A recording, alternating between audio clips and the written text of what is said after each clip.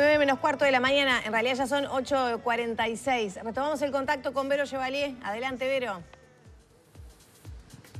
Muchas gracias compañeras y bueno, como lo habíamos anunciado desde temprano, ya comenzó el plan invierno por parte de Mides para las personas en situación de calle que puedan eh, acercarse a los diferentes refugios puestos a disposición justamente para preservarlos de estas temperaturas que han bajado de forma muy abrupta. El frío ha empezado antes que en años anteriores y eso se hace notar también en la complicación y la dificultad para las personas que duermen en la calle. Estamos viendo el lugar desde el cual están saliendo los diferentes y entrando los diferentes servicios de ACE que se están moviendo justamente ya en lo que es la finalización de la primera noche. Estuvimos en contacto con Mides que nos informaba que todavía no están los números cerrados de la cantidad de cupos que fueron utilizados en la primera noche de un total de 4.125, que es el inicial para personas en situación de calle, pero que fue una primera jornada muy tranquila,